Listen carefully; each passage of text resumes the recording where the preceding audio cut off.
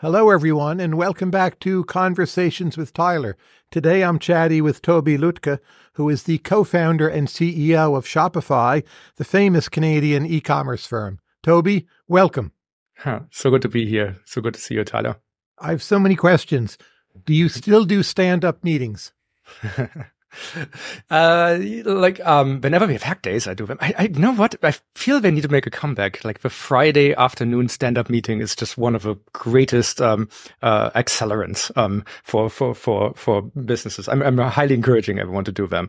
The digital version doesn't work so well, does it? Like it's some Slack bot or so telling everyone to stand up and type something. It's just like it doesn't do the same thing and it may be harder, of remote yeah, companies. harder to monitor. What other systems do you have for getting good information out of meetings?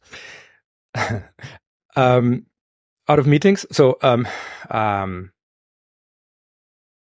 okay. So I grew up as like outsider, like it's as in um, um, I kind of have an outsider mindset, which is kind of hard to uh, um, um, um argue from first principles at this point. But like, um, in a small town that was super not interested in in in in in, in computing in Germany. Um, um, uh, and um, so I, I I learned all, sorts of skills for um, observing um, people doing interesting things from afar. You know, just like I, I my, my lifeline back in those days was like um, uh, getting a copy of um, uh, the, the the back archives of the Linux uh, kernel mailing list and so on. This is how I learned like C programming and so on. So um, um, so uh, I, I, grew up as like an observer on information. That's what I do when I um uh, just for fun a lot. Um and um um also that means I grew up on the internet, um which um is good and bad. So one of my um ways to get a lot of out of meetings often involves um saying high conviction incorrect things and just waiting to figure out like like seeing everyone wanting to correct me. It's it's, it's a more efficient way of uh, um um. So it's like um, Twitter. Yes, if you want to learn like, something, say something, something wrong, wrong on the internet. Yes, um, um, it works in real life too. Um, it's not people's favorite thing I do, but uh, uh yeah. like it, we have a wiki inside and there's a blueprint for me and it says that I do this. So some people are re- uh, reasonable, have reasonable warning these days. The systems for making meetings better. Should we also use them in our social lives? Family dinners. you get together with friends. I don't know. I, I, have seen. Um, I, I, I think uh, porting what makes companies work too far into private lives can also uh, uh backfire. Um, um, I, um, although I did, you know, with my kids, I always booked one-on-ones. Um, so, so, um, um, uh, they, they, they called them dinner appointments, and uh, we, we, we, you know, just I, I I tell them I'm going to treat you as an adult, and you uh, you're going to have an adult conversation until you say you're a kid again, and um, I'm going to answer every one of your questions to the best of my abilities. And we they choose some restaurant, we go there, and that's what we've done for um, for a while. And of course, that's, um, uh, you know, cell phones down. I think that's an important thing to do. Um, what we do with meetings is like, we, we, inside of company, we do a bunch of things. We, you know, periodically delete, uh, all meetings, um, uh, recurring meetings because, um, um, it's just it's, it, it, seems very hard for people to subtract. Um, it's very easy to add. Um, that only leads one way. And, um, so we have ceremonies like this. I would, it would be interesting what would happen if everyone would have to zero sum their follow, follow list, you know, zero budget their follow list. I, I think that would significantly change people's experience with, uh, with social media. I wonder if that's a good idea also with your, your friendships. It's striking to me when I'm in Italy, I very often see what I call street conferences. That is, people talking to each other, often heatedly, and they're standing. When I'm in Germany, people are talking to each other heatedly. They tend to be sitting. Do you have a similar impression? what a fascinating observation. Um, uh, you know, the idea yeah. am Tisch, it's, it's something yeah. very German about it. You can pound your fist on the table. It's a, it's a Stammtisch, really. But, yeah. but, but really, uh, you know, um, um, I think pop in both instances, people do something which I think has a lot of relevance to um, this sort of real life versus social media um, uh, conundrum that people are wrestling with, which is that um, I think there's a significant human need unacknowledged for venting. I, I, think venting is like one of those extremely important um, uh, uh, outlets um, um, uh, that like it's sort of original safe space in a way where like at some point people say okay well you're clearly off at least people say this to me. Like I, I, can go pretty far inventing uh like you know germans can be going very far. Like stereotypes are funny because they often are true. And um so um uh, venting, catastrophizing, these kind of things, and then having your friends reel you in. But the issue I think we've seen over, especially sort of beginning of this decade, is um, as people like ported their venting online um, and then got their sort of one take uh, retweeted forever um, because it just captured the imagination. Um, I, I, I feel people misunderstood what was actually going on for a little bit, and I I, I hope um, everyone has sort of acclimatized to this reality now. So, how do we create safe outlets for venting in companies or institutions? What is it that one does? Because you don't want it to turn into negative contagion, right? Mm-hmm. Mm-hmm. I, I actually think, like, even just talking about venting being a thing that's actually a good and and and and prefixing when someone just wants to actually just say or get a bunch of things like field test some um, uh, takes is a good idea. I, I, I think I think that can disable the power of it spiraling everyone on um uh, or uh, right right after, and I think that's I think that's useful. But I don't know. I've seen I don't I didn't go to it because it wasn't my neck of the woods, but like I've seen um uh parties organized or evenings organized now where everyone gets a um, um um, a note with a outrageous um, position um, uh, that they are supposed to represent for the rest of the evening, and um, um, then they're supposed to like tear it up and toss it away. Um, just to allow people to have plausible deniability on whatever they want to talk about, because they can just like fall on, oh, I was told to uh, represent this. And I think that's, you know, that seems like I don't know if it's a good idea, but I, I would lo- I'd love that someone is trying this because that seems like um a social license to actually like like talk about stuff that otherwise can't be talked about and seeing where it leads. And often it leads to exactly the wrong place, and then uh you know you get that out of your system, and then you don't need to share this as a tweet afterwards. Are German meetings different? Yes. Um, How? So I'm German. I grew up for 20 years in Germany. I then moved to Canada. You're so, from Koblenz, uh, right? I'm from Koblenz, right? Yeah. Like uh, I celebrated 2,000 years uh, um, uh, when I was a teenager there. Um, um, uh, Julius Caesar might have come through, and that was probably the most exciting thing that ever happened there.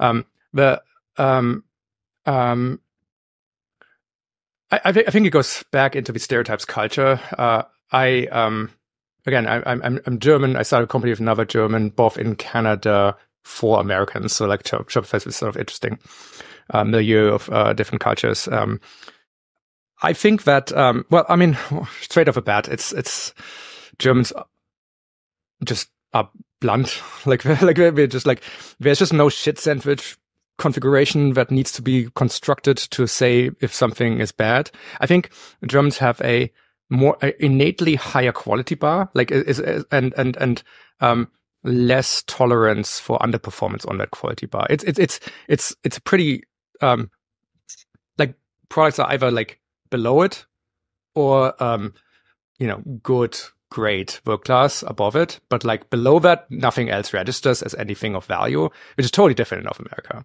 And i think that's good and bad that comes from this. I think i think sort of a cultural appreciation for good products craftsmanship um, uh, done right and so on is, is is is something you know like that's um, uh, more associated with, uh, with with europe but the quick iteration, be embarrassed by first version, um, and, and and then build from there is something that you know North America does better, and and so it's interesting. Um, I, have seen this in, uh, in in in meetings where people fell on cultural lines of uh, you know is this should we ship this? Should we not ship this? Is it valuable to build it this way? Or should we um, you know spend a couple of, like spent months and months and months trying to figure out exactly what to build and then build that and try to get it as close to perfect as possible or, or should we just like iterate very very quickly? Um, and um, so yes they go differently. Are canadians different in meetings than us americans? Yeah um, as well. Yes that's uh, true. It's it's it's it's more on the side of american on definitely on a on a, on a um, minimum quality bar.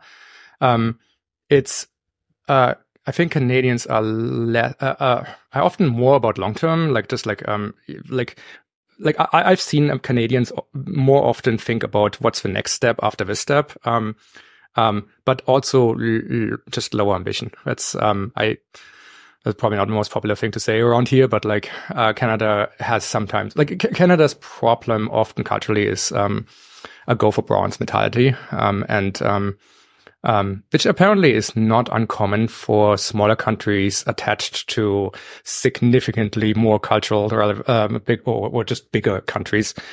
Um, but I think it's um, um, it's actually I found it's very easy to work around because I think it's um, if someone you know I think a lot of our success has been due to you know just me and my co-founder basically allowing everyone to go for work class and everyone's like oh okay well if we're allowed to do this, then let's go. And uh, I think that ma- makes a big difference. But this is in, like ratcheting up the ambition for a project is something that um, one has to do in a company uh, like in Canada. But is there something scarce that is needed to inject that into Canada and Canadians? Or is it simply a matter of someone showing up and doing it and then it just all falls out and happens? So I don't know. Um, I, I um, in as much as Shopify may be seen as something that, uh, that succeeded, um, that alone didn't do it. Um, I uh, so um, um, it would have been very very nice if uh, uh, if if that would happen. Now, um, there's a, like another cohort of founders coming through who are like some of them have been part of Shopify or come back from from from a valley. There's some great companies in uh, Calgary like Neo that uh, are more ambitious, but like it's I think that um, I think it's a decision. I I, I think it's a bit of a, a decision. Um, and it, it, I I would like the the time it worked perfectly was um, when Canada was hosting Winter Olympics, which is now a little bit of ancient history. But there was actually a program Canada wide that's called Own the Podium, which because you know that makes sense. Like it's it's it's home. We love we have more winter than most, so therefore let's do well. And um um and then we did. Like it's just like it's by far the best performance of the uh, Canada Olympic team of, of of all times, and it's um. So I I I do wonder if it's actually like I, I think to systematize it and and and make it stick. That's um changing a culture is very very difficult, but instances of just like giving everyone permission to to to to go for it have also been super successful. Why were you miserable in German school? I think because German school at that time was um, in love with uh, serializing out answers and trying to fill you up with as many answers as possible and hope that you would be able to apply them to problems you encounter later. I, I don't know if there's a, a good theory for that being a sensible approach that would stand up to reason it certainly didn't work for me. Like I, I kind of am literally opposite. I need to, I, I need to have every problem before I can learn the answer to it. Um, and, um, um, that just, um, was in stark contrast, um, you know, what, what being taught in the nineties and so, and during these times was like in stark contrast with what was interesting for, you know, working with computers. That was really just like the most fun thing for me to do, uh, during this time and seemed very valuable even, uh, then. And, um, you know, this this, this probably sounds too abstract. I, like Latin as first extra language is just like not highly utilitarian, um, and um, um, that is not the like knowing Latin is very rarely the correct answer to questions you might encounter later in life. Um, so um, it's it's it's not not saying it's not valuable in some way, but maybe like start with English. That would be a good start. But there's plenty of technical talent in Germany, and plenty of young people speak English quite well. Why aren't there more German tech giants? I mean, the hot take here on this is like there are they're just they're called Shopify and Palantir and others, right? Like it's um um so it's but in Germany, Germany's not a tiny nation. The EU is of course a large market. Enough of you speak English to have a common language. I would like, I would love to know. I honestly, I, I think about this a lot, but I don't know if I have, if I'm best person to, to, to, um, analyze it because it's like what I'm hearing and, uh, it makes sense. It's just that it, tech is something that Americans do from perspective of Germans. And it's like, it's, it's, I think, I really don't think pe- the general population is believes that is truly like tech tech is adding a lot to life. Um, uh, it, it's seen as a uh, um, uh, uh, uh, this may be a reflection of areas I go to visit. Again, I mostly visit um, uh, family and friends uh, in in smaller, uh, like not the tech centers of Germany, and um, having these conversations. Um, and and there, there is a very much a pessimism about the future that I think means you cannot build tech companies because you kind of have to be optimistic about the future to like otherwise why would you want to uh, uh, contribute to um, you know progress and, and making it go uh, come come to be faster? So um, I, I, think that's one thing. I think it's very hard to uh, uh, hire staff that's willing like the like in North America I found that uh, people take big chances um, to if, if they believe and have conviction in a company doing something, they would um, leave a excellent career to uh, give it a go. Um, and it just like also seems to not be true in, in, in Germany. So like access to excellent talent is just simply harder based on um, them just making culturally decisions differently, partly because I think startups are a uh, low status pursuit um, uh, from the best I can tell. But say we compare Germany to the Netherlands, which is culturally pretty similar, very close to Koblenz. They have ASML, Adyen. Netherlands is a smaller country. Why have they done relatively better? Or you could cite Sweden, again, culturally not so distant from Germany. You're asking very good questions that I much rather would ask you, you know? like, um, uh, I, I don't think I have, I, I, I don't know. I, I, I wish I know. I like, I spent, um, I, I, I, I started a small company in Germany, didn't do anything. Um, um, um, so it's not like people didn't do this. Um, and, um, I came to Canada, did it again. This time it worked. And, and then I was heads down for a very long time building, um, my thing because it just like was consuming. So like I, I, I didn't pay too much attention to geo, um, uh, I wasn't even very deliberate about where I started a company. Right? Just I started in Ottawa and because that's where me and my wife were during the time she was studying there. And then we, we could find great talent there that was overlooked, it seemed, and um, gave everyone a project to be ambitious with, and uh, it worked. And you know, I think that if you create in a, geography a consensus that um, you're a company that really, really is worth working for because it's uh, it, it is interesting work, great work, and might actually lead to something, then you can build it. And um, um, uh, I think this is something that I, I just I don't quite understand why this is not possible to do in uh, you know, so many places in Germany because again, Germany does have this wonderful appreciation of craftsmanship, which I think is actually underrepresented in software. I think um, it's only recently, um, usually by Europeans, um, uh, being brought up. Uh, uh, Patrick Collison talks about it um, uh, more and more, and, and and certainly I do too. Um, but like so making software is a crafts is is a craft, um, and I think in this way Germany, Czech Republic, other places, Poland are like extremely enlightened in, in, in making this part of an apprenticeship system. And I apprenticed as a computer programmer, and uh, I thought it was exactly the right way to learn these things. Um, now, um, that that means there's, I believe, a lot of talent that then um, makes decisions other than uh, putting it together to build ambitious startups. And um, so something needs to be uncorked by the people who have more insight than I have. I think part of a hypothesis is that the Netherlands and also Sweden are, somewhat happier countries than Germany. People smile more, at least superficially. They're more optimistic. The more out- optimism, yeah. going. It's striking to me that Germans, contrary to stereotype, I think they have a quite good sense of humor. but a lot of it is irony or somewhat black. And maybe that's bad for tech. And I wonder, people in the Bay Area, I mean, do they do they have a great sense of humor? I'm not sure they do.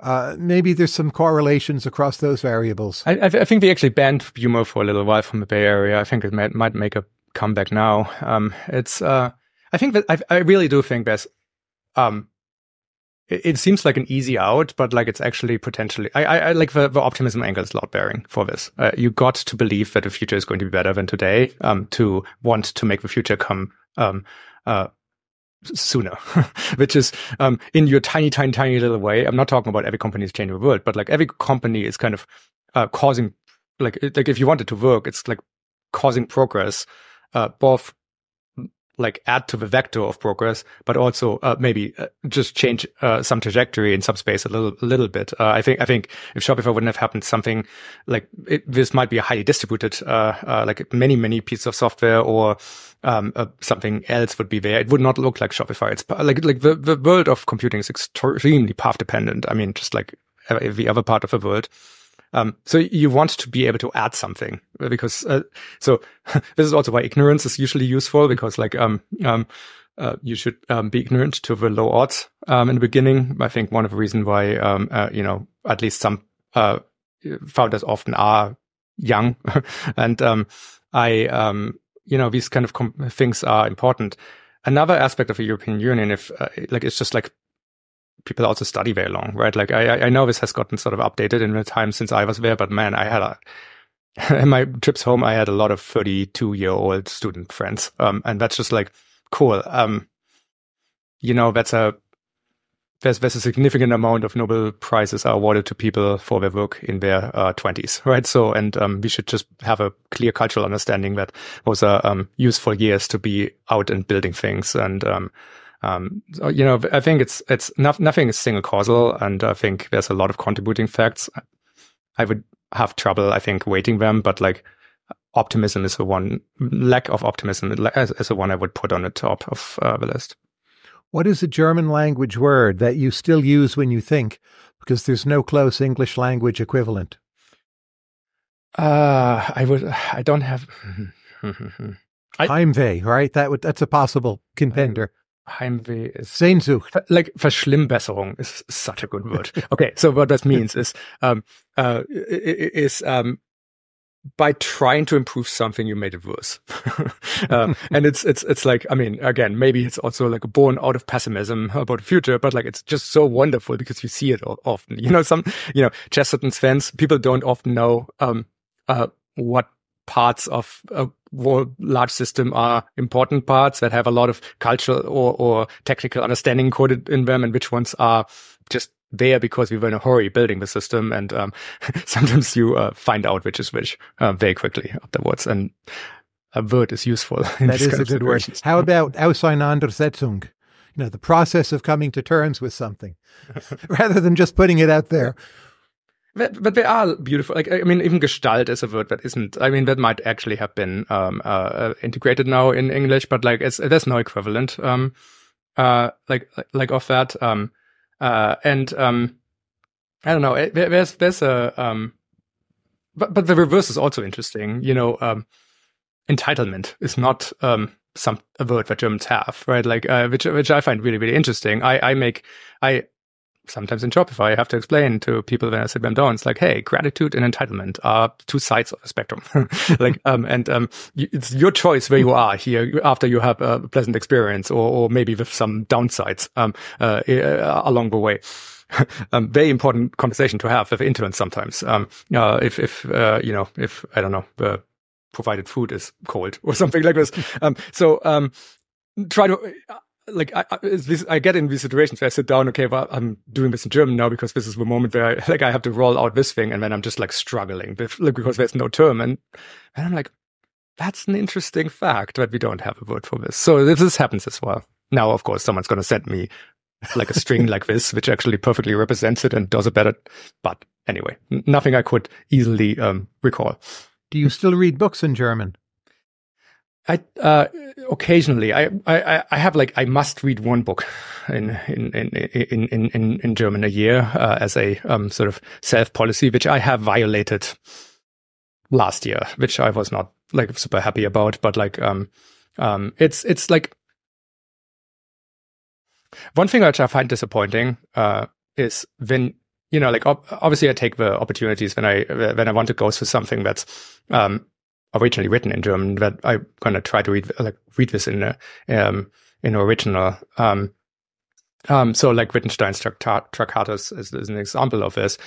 It's like the English translation is so much better because um, the translator asked for so many clarification by Wittgenstein uh, that that it, it just ends up being like readable. So I found a book which was um, was actually beautifully said. I think the MIT published it of like um, the original German, uh, the English translation, and a translation back to German from the English translation, all uh, all in three columns, and that was perfect. So um, sometimes the English translations also just often get updated again, like for Kant or something like this.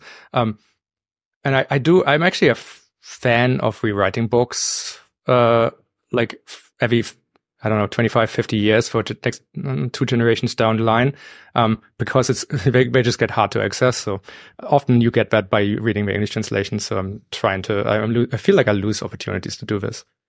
In your opinion, where exactly is the dividing line between North Germany and South Germany? So people in Freiburg, they'll say like, "Oh, it's Mannheim," but that's insane, right? Where is it for you? I, you know, you ask me to to to to, to poke horn's nest here, which I like. like I I I'm gonna have too many unhappy people by actually committing at all to this question. so I'm I'm gonna take a pass. Like I would say, Limburg is still South Germany because historically it's been Catholic, but somewhere not too far north of Limburg, North Germany would start.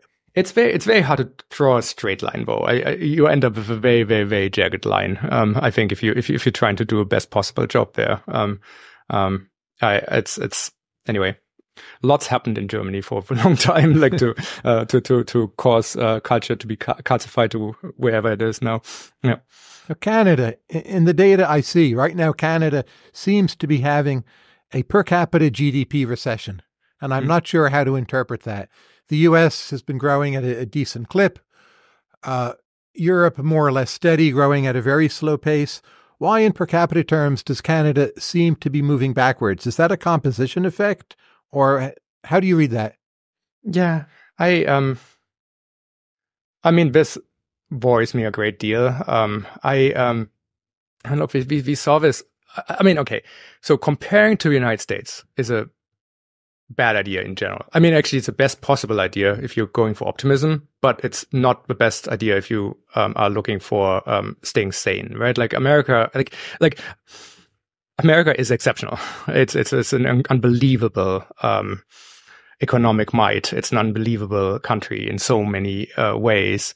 Um, I, I, you hear in every country, well, if you compare to the United States in this one thing, um, things are bad. I'm like, well, I mean, I think the comparison of Germany to Netherlands is a lot makes a lot more sense. I think that's where you can make real, uh, uh, you know, figure out what might be uh, actionable. America is just like really, really, really, really different. So first of all, that. Um, so every once in a while, Canada has an economy that really can hang with America. I think 2000 years of 14, 50, 50 um, like it, it, was looking really, really well. I think what happened there, um, again, nothing has a, sing, a sing, singularly causal, but like it's, um, it's it's the productivity numbers are just really low, and I think the um, employment in the public sector having grown the degree it has is just like again i don't know if it's if if, it's causally related uh, or, or, or correlation with the same thing but like i've it's it just me is pretty clear to me that if um, um, the ratio of referees to to to to builders is or critics to builders is going out of whack that like things grind to a halt. So um, we saw this in even Shopify ad- adoption. Like it, it's it just took a lot longer for Canada to to to want digital products. Um, um, and um, um, Shopify is always selling and, and and finding its best customers in the United States for first 10 years easily. And then you have already, like, if you, if you believe me, that Shopify is pretty good now there's a compounding advantage for, for people who have adopted it earlier. And um, um, I think that is sort of like a tiny zoom of a much bigger fractal that I think is, a, is at play there. How has Canada changed the most since you moved there? Hmm. It feels like it's the optimism angle, and I think this is like a thing that worries me the most. It, it just, I think Canada had is massively had a massively underappreciated at the time project in multiculturalism that worked, and it um, uh, start, started under Pierre Trudeau, really um, just putting country together. Like, with with great leadership, great uh, vision, and Canada had a string of leaders that were like kind of almost too good for a small country, um, and um, um, you know, there, there was like this, hey, we are getting along well, we are friendly, we are, um, um, like it's it's a, it's a high trust environment, um, and um, uh, there, there's the best days are going to be ahead of us. Um, and I think I, it's so hard to point at exactly what uh, what changed it. Um, but um, um, the cultural narrative has just uh, simply shifted now. I, I, I, do think people are a little bit more circumspect and um, looking at the the country. I think the the sort of problems are more clear. Like it's it's like there's a lot hanging on real estate, and real estate is not by itself like that's that's it's, it's valuable to a second order uh, because of all other sort of things being valuable. I think the worst thing is like this, uh, from my perspective, is this um,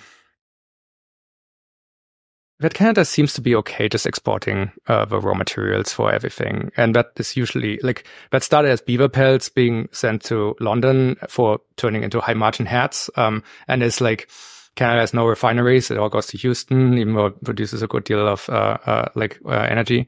Um, um, and, uh, you know, this is, say, Waterloo is like basically a raw material export, um, uh, as well as one of the greatest schools in planet Earth. Um, uh, and, uh, you know, Waterloo students are load bearing for Silicon Valley, uh, companies. Um, and, um, you know, there's a lot of, uh, readiness to export the CEO cultural conversation about like, you know, maybe we should have people build things here as well. Um, and, um, there's just no it, it seems like a country which is now so has so little self-confidence um, that um, I, I, see this as running Shopify. Um,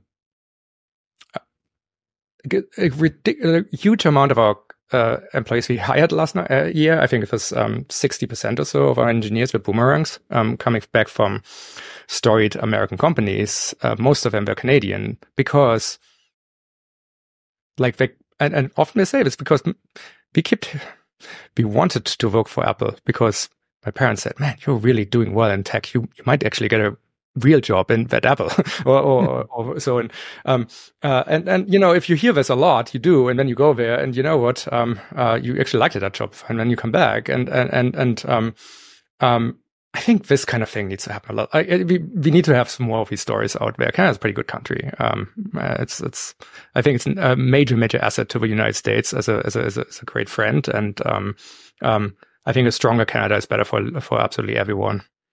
Do you agree with the stereotype that Canada is especially weak when it comes to branding? So there's Shopify, there's Molson, you could say there's hockey, NHL, but not that many Canadian brands. Why is that? Or do you well, challenge Canada, the premise? Because Canada exports no products, right? Uh, you know, Shopify and Lululemon export. Um, sure, forgetting. I mean, Molson, sure, but like, um, I don't think it's like not ability to do branding. It's just Canada does not appreciate commercialization of any kind. Um, it's like Canada wants to, in, you know, invent, um, like it's it's remarkable how many papers that are foundational to the current evolution of um, uh, of, of AI boom uh, in the University of Toronto, Waterloo papers, um, uh, you know, Jeff Hinton and, and his lab and so, and, and, and Joshua Bengio and so on. It's, um, like Canada, lo- like, loves to have a eureka moment. And it seems as, seems, it's seen as a low status, um, thing to do to then go and try to build a business around it. Which, you know, is probably amazing from a perspective of our neighbors, but like um, probably not so good for the uh, you know sort of wealth of a country. Like it's it's, it's, it's it we are not metabolizing any of the kind of uh, uh, innovation. Shopify is little is very much an aberration here as like let's make something that at least was a brand to businesses initially, and increasingly people sort of um, beyond businesses uh, recognize it. Um, and um, so yeah, like I, I think that's that is an important thing. Like it's, it's, it's, the same thing as like, hey, we don't refine the oil or we don't make the hats for, from, from the beavers or, um, you know, we just don't create the final product. We, we, we send the raw materials everywhere. And I, I, I would, if I could change one thing, it's, I would do that. I, I would put, um, like, and by the way, this is deeply encoded in policy, right? So there's a thing called, uh, SRED tax credits. I'm not gonna bore you with the details there, but like you can claim those to if you if you do it says research and development, um, and um, um, try to claim them for anything that's commercially related. It's it's it's actually uh, it, it's it's remarkable. We at, at various points stopped just applying for them just because we were just too commercial in, in lots of ways. So you're being paid for doing original research, which I think is a great policy. Uh, like because some like often original research kind of could need, need a boost. But then going and um, turning this into a product, you're like completely left out. Like if you want to claim anything, you will have to uh, ask every one of your people in the staff to have meticulous time sheets and, and submit an, an ungodly burden of documentation, which literally makes the commercialization jobs terrible. And so therefore, you know, it's like, um, the good people don't want to um, um, work in this environment and so on, so on, so on. Do you think in Canada there will be an enduring backlash against immigration? I don't mean the phony student visas. Let's assume that's taken yeah. care of. But immigration as it had been proceeding. Is that the standing equilibrium or is that going to dwindle and asymptote? So Canada is about, I, I, don't know if it's accurate numbers, but I think there's a directionally right. This is, uh, Canada is about 41 million uh, people in the last three years. Um, 3 million people immigrated to Canada, which, you know, is a significant percentage increase in, in, in, in size of population. Um, there is a lot of cultural conversation about this. Uh, I think the, the, most of the conversation that I see is not really about uh, veracity of, of, of, of, immigration in general, but actually about like the sort of um, fact that in this time of adding 3 million immigrants, we added like almost no housing, which is like, so that's, it, it, you know, just that's, that's just like a, not a great idea to do that. Um, and, um, um, that's causing a lot of, uh, you know, bad downstream effects. Immigration has my entire 20 years I've been here, 20 something, um, been very popular in Canada, which I thought was one of the most unique parts of the country. Um, that's sort of part of a statement I made earlier about, um, an almost unacknowledged, uh, effortlessness to multiculturalism that, that, that, that worked. And, um, um, Canada also implemented the thing that everyone's talking about, a skills-based visa program with point with point systems, which is um, well designed and and um, has been doing a lot of work for Canada uh, in in the past. It's not quite clear to me why um, we walked away from uh, sort of these priors that have clearly identified to work all of it, and and and and certainly like things in policy land changed um, and opinions changed I don't think people like this um, experiment. My significant hope is that this is not uh, going to be one of those baby out with a bathwater uh, moments because we have a great skills-based um, um, uh, immigration system, and I think Canada should just like fall back on that and and, and uh, you know round that up. Why does Ottawa remain such an underrated city? So Americans will take a three-day trip to Toronto or Montreal, but Ottawa is excellent. There's the National Museum, very good food. Obviously, it's nation's capital. Why does it stay so unknown? What a wonderful setup. and it's close, right? Thank you. Thank you for the platform. It's, it's a wonderful city. like I, um, uh, you know, we, we, we, we, I mean, it's not, we ended up there because my, my, my wife was born there, but then actually studied there. I, I maybe not expecting to go back. And then we stayed for 20 years and we built, like, Shopify built a great company there because it's just like, people really, really love it there and they were like itching for better employer, I suppose. Um, and, um, and, and, and, yeah, I, I mean, I have to, I mean, obviously it's, it also gets really cold. I, I had these wonderful parts, like where just like my commute to work was, uh, the, the, the canal, or skating on the canal every day. And, um, um, you know, where else in the world can you have a commute like this? But also, um, you know, the first time I visited, it was really, really cold in winter. And I was like, I, I, I sort of had my questions. And, um, when the summer you go to a cottage and that's just like the other side of the whole thing. Um, um, and it's just like it's a wonderful quality of life, and I think that matters. It's it's. Um, Don't you have the world's largest outdoor ice skating rink, and it's yeah. seven kilometers or something? yeah, that, that was my commute. Uh, that was your I, commute, I all seven really, kilometers, or how yes, much of yes. it? uh, well, uh, maybe two of those was, was a commute. Um, it was right, right office downtown, and then um, we were living along the canal, like two blocks in, and it was it was very cool. A very, very, very nice thing, uh, nice way to start the day. I, I'm, I'm, I'm sure I wrote my best code those days. the future of the internet. When will virtual reality stores matter? Um, I, that's a very specific. that's a good question. I virtual reality stores. I don't. I, I don't have a great answer um, there. I, I don't think they will I, I, don't think we will port the exact like the, the, the, Fifth Avenue boutiques online, other than for um, having virtual twi- like uh, uh, virtual twins for them for, for people who specifically want to see those. I, I don't think this is going to be um, um, the the future of e-commerce is going to be um, uh, strolling through um, malls or virtual malls or these kind of things. So I, I think the exact way this is all going to compose is going to is going to be different. I think the innovation in, in virtual reality are going to be much more about uh, um, you know, virtual avatars or like or, or, or real people like helping you, like just like talking to the product. Like Shopify represents mostly the catalog of product that people really want rather than the necessities, right? Like it's like the Fifth Avenue boutiques would also be ones using Shop point of sale.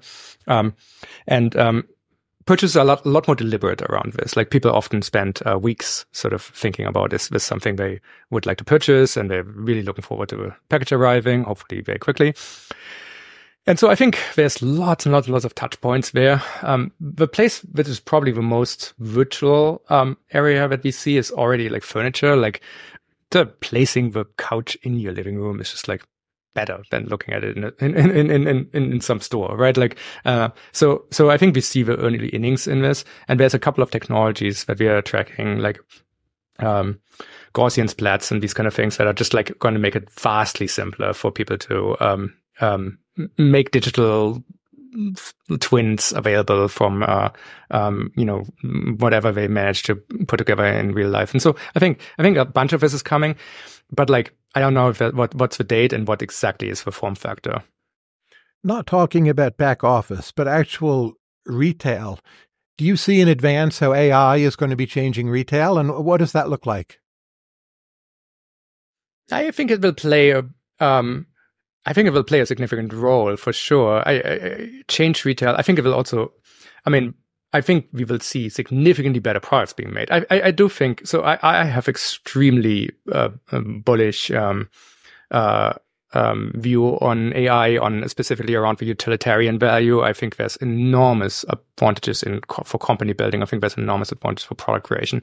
I think um, um, what we engineers um, experience around um, uh, co-pilots just right now getting good that, are helping us do the job that we already have a significant craft in, but like do it better is extremely uh, convincing. And I think, I think people would want, want a um, co-pilot or a sidekick or something like this along um, more of the things they do, which are like at the edges of their ability, which, uh, which I think in, in a retail world, um, uh, on the creation side of businesses and on the creation side of uh, products, it's just like basically all the time. It's it's a stretch. It's a way you put yourself out there. You create the best thing. It's a very it's a very um, it's a deeply personal thing to create the sort of first version of a product that uh, you you try to create a company around.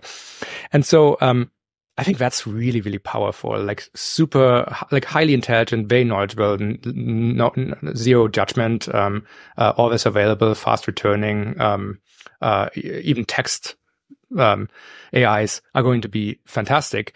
But increasingly, I think um, I, I, think software is going to go through a um, rethink um, in for this decade. I it's just quite clear that um,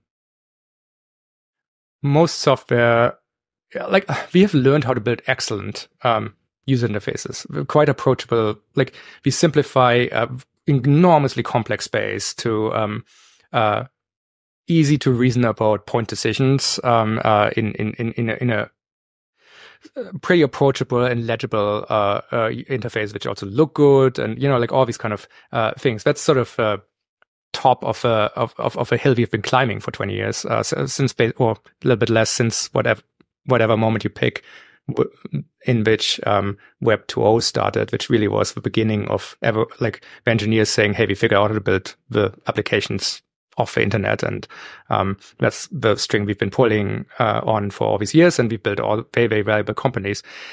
Um, but but that replaces um, that basically replaces the like going directly to the database or going to the command line. We build like these interfaces. I think now we are instead of creating a place where someone can run around and, and switch a whole lot of toggles and, and, and, and change preferences to uh, suit their particular idea.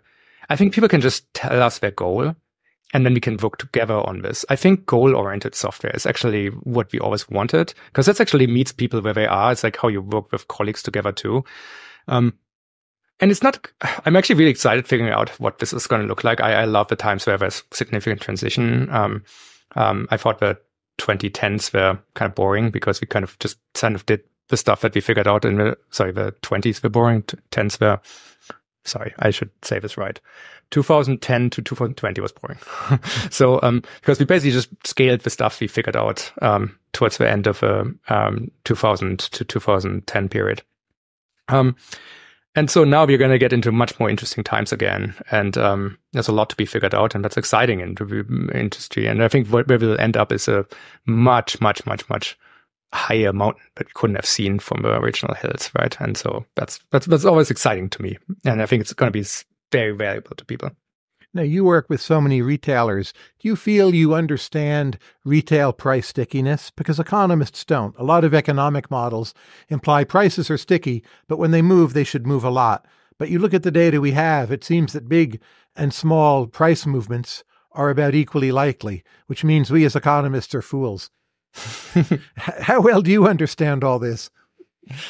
I don't think I have a better line. I, honestly, I, I just like business are just so different that they are hard to uh, average out. And like there are a lot of businesses that do their pricing strategy is aesthetics, and aesthetics is one of those hand waves that humans do to uh, explain away enormous amount of background processing that goes into it uh, in the best case scenario um, like lots like an entire career um, of, of, of, of knowledge rolled into an intuitive quick uh, decision or completely making it up. Like like sort of both sides of a like uh, um, midwit meme here, and um, like I, I think economics fundamentally will have to um uh, uh you know roll a lot of a, lot of data points into um, uh, an average and then try to see uh, which direction people do and there's a lot of canceling each other out going on in in the spaces that we can uh, we are concerned about um um was sort of interesting. We, I mean, we went through a high uh, inflation period and just like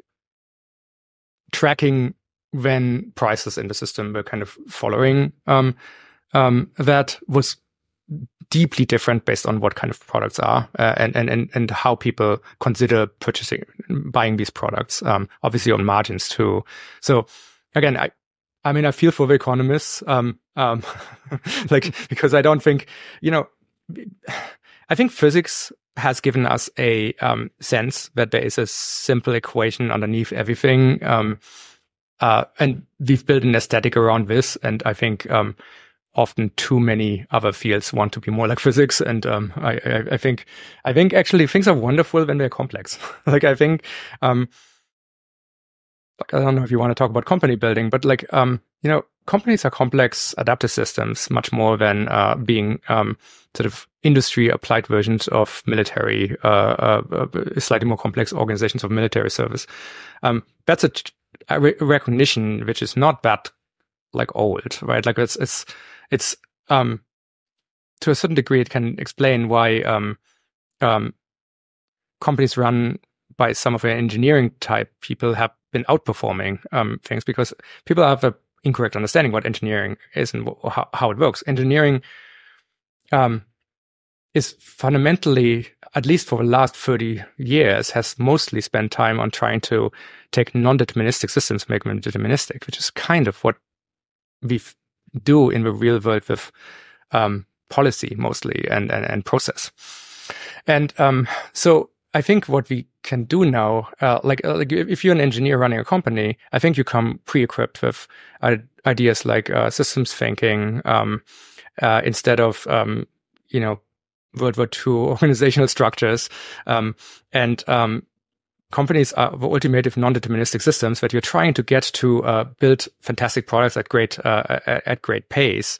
Um, inclusive of all the creativity by the various uh, actors in the company and and like trying to build inside of it a culture um, uh, a story incentive systems that are just making so that um, the maximum amount of everyone's activity actually uh, you know like for like furthers a mission.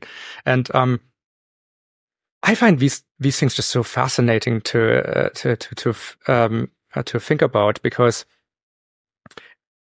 I this is sort of going back to the beginning. I, I, saw myself as an outsider, and I made a study of other fields from afar, and I just um um there's so many amazing ideas in basically any given field that you can possibly name or imagine. Um, like, and often happens is like every field kind of reinvents the same uh, uh, core ideas and gives different names to them. And making a study of doing this kind of thing and just saying, okay, well, how do we build a better company? I think companies are very bad, like all of them. I like, I think literally everyone, um, but I'm my, my, me, my contemporaries, um, myself especially, we're going to be terribly embarrassed by the companies we ran uh, in the early 2020s. And so, um, because there's all these things we didn't yet have or didn't yet understand or so, and then, um, you know, eventually we'll figure this out. And then how could we even build anything before we figured out this thing? Again, I find that just like such a interesting, um, um, meta field of research. It's almost applied good thinking. like, uh, but what if we never figure it out? I mean, how sure are you that in the future it will be that much better? We'll have better technology, but organization? Yeah. Um, well, we have we we have new primitives on which we can um, build, like sometimes also philosophies, right? Like, but I, am not saying we're going to build the perfect company. There's no like everything is a set of trade offs. I, I just like compared like if the best soccer team on planet Earth is like uh gets at like eighty percent of how good uh, the eighty percent of perfection. You you freeze frame the replay. Everyone, very few people use a muscle that incorrectly while actually approaching the goal and then um, you know beautiful orchestration of um, um, uh, uh, you know co- cooperation without with zero communication and you know that's like what's a company? A company is 5% like how many memos are never re- read and um, like partly because um, so so which to me tells you you if you just get to six percent, you're already doing better. Like that's that's a pretty good way of not being as embarrassed as everyone else. I think realistically, I, there's going to be a limit because these are not like a soccer game is the same one every time. You can actually practice for it. Uh, like a, a company is, you know, every day is a new day, it's a new puzzle box dumped on everyone's desk. Um, it, it's it's it's a different environment but still, like I think companies are vastly better now. Like, and I started as an engineer, even like uh, apprenticing under um, my meister. He said you have two years after you start writing code for a project. Um, after which it's like someone puts cement in a code base and you're never going to change a thing again. And that was just like accepted back then. And now like we have pieces of software that are 20 years old and feel, feel, feel the delight to work on because we just um, build up these understandings. There's no like a lot of these lessons work in other areas as well. What do you think is the most common mistake your third party retailers make in modeling the world? Um, thinking they have to build products for that other people like.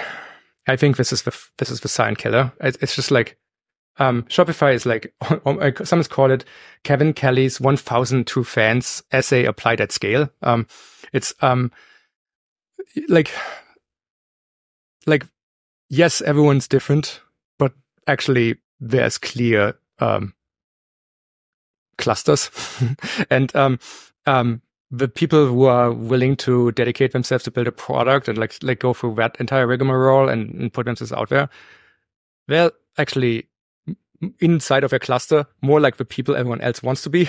and uh, if they build things that uh, they would love to have in the world, um, turns out that's they have extreme insight and authority over this rather than um, running. So this is, uh, I, am a little bit like, there was some cross pollination from the lean startup book to um, the retail world. And I think that's especially in retail, this has been bad. I'm actually wondering if that was such a good um, uh, set of ideas. I, I, think there's good ideas in the book, but like it feels a little bit ungenuine to just like, I think customers are not the people who should say uh, what needs to be built. I think they need to explain their problems, and it's like about it, it like the builders have to figure out how to solve these problems better. Um, I think that's otherwise it's an abdication of vision, uh, and um, uh, I think the best companies end up like following a long term vision and um, a long term mission. So I think that's part of it, and then um, um, the people who have access to capital they underinvest um, in, in in growth.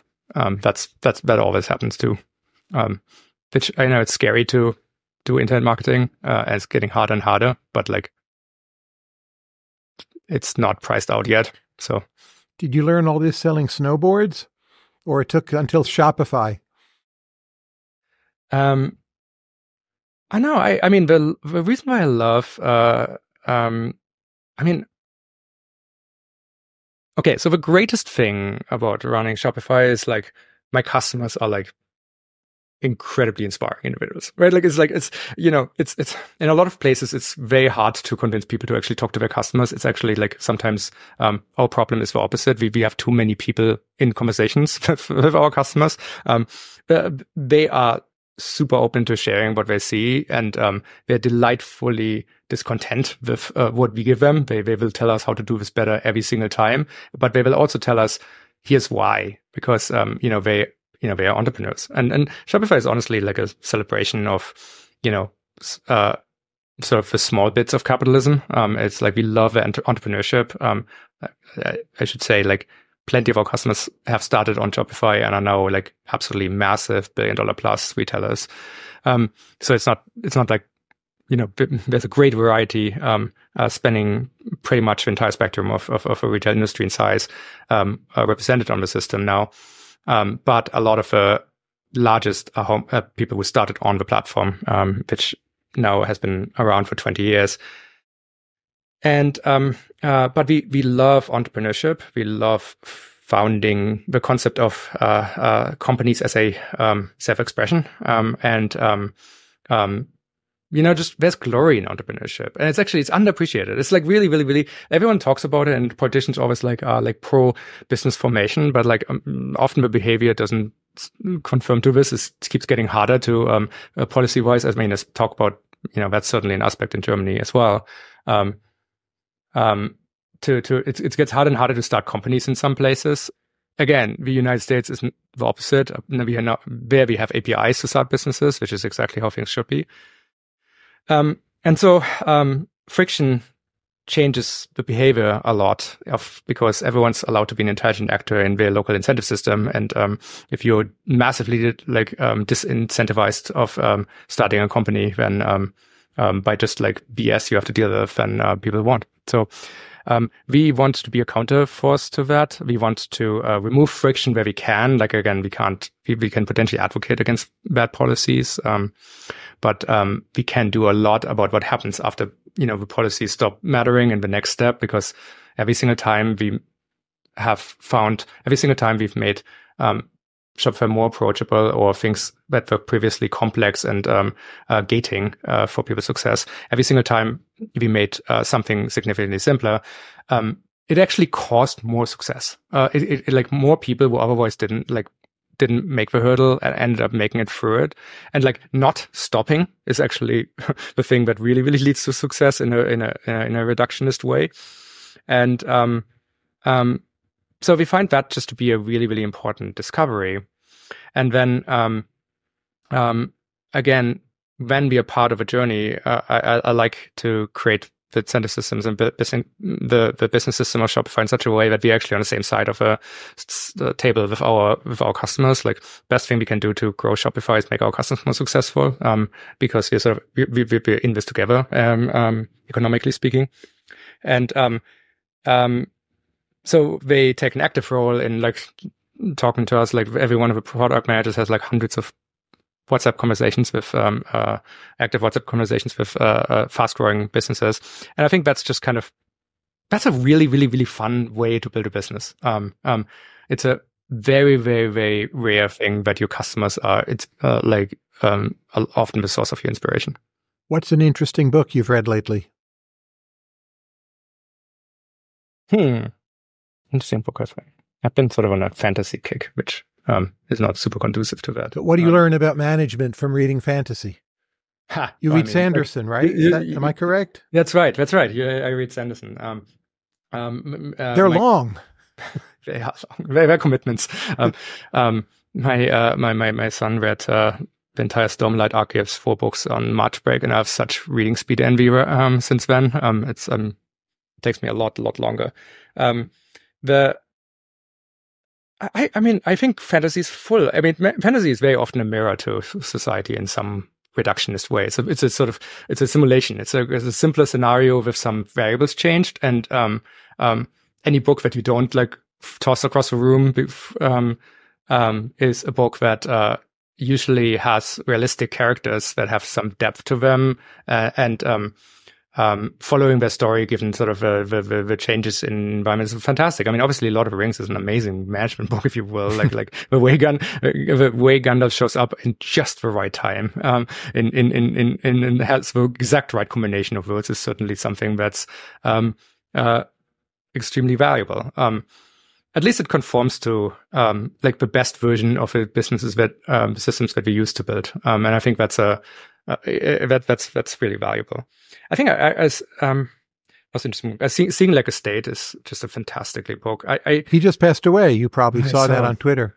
It's yes, yesterday or so, yes. a couple days ago. Um, yeah, what a fantastic mind and like a I I know no um it, it's one of those books you read which feels like it should be um um a book a particularly good book in a space of lots of books, but it seems like totally like there, there seems to be nothing around it. It's just like I've had people ask me, "Oh, recommend to me other books like Seeing Like a State," and I'm yeah. not sure what to say. Exactly. There's nothing. There's nothing quite like it. It's it's, it's really wonderful. I've um, I, I have been fascinated with uh with, with the Burnham books. Um, um, you mean Managerial Revolution and and Machiavellians are just like, especially for when they were written, incredible books. And um, just the the degree by which we have known a lot of these kind of things, but haven't known the solution to some of uh, uh, you know the things that uh, Burnham uh, um, discusses are just remarkable. I've I think the best book I've read um, was A Conflict of Visions um, recently by um, uh, Thomas Sowell. I, I, just find that is an incredibly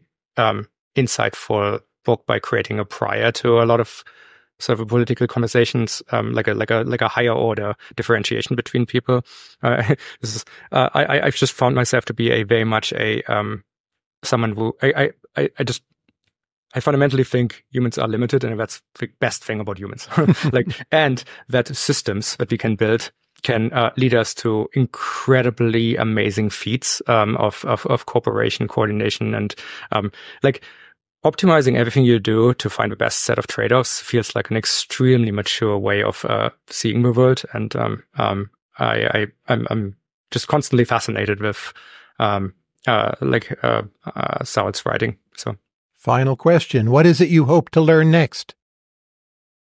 Um, I mean, I have been on a um, wonderful sort of reconnecting with engineering uh, kick for the last little while. I've I've really really um, had a great time coming back. I think co-pilots and AI has allowed me to uh, like mitigate all the downsides of of, of just not spending t- um, any like weekends and work on compu- um, computing projects. I again, I, am incredibly interested in in in, in, in um, LLMs transformer the, the, the, machine learning world, and it feels like an almost unending well um, of uh, like of information um, and uh, a progress. So I, I'm just like I'm fairly uh, tapped on on on on this. Um, it's it's it's hard to see this as a field because it just like changes every every couple of days. Um, I am most thinking about, and I really feel like I can contribute a little bit to um, just figuring out how to have higher trust companies at scale. I, I just think people like the,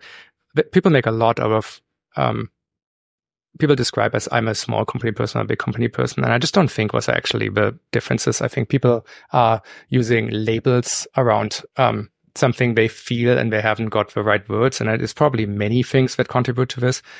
But certainly parts of these things are um, a sense of agency and ability to impact, an ability to um, like not um, have like a lot of what happens in companies is that uh, policies and and and and, and um, uh, processes they're well-meaning. They bring up the floor so no one actually does something really really wrong.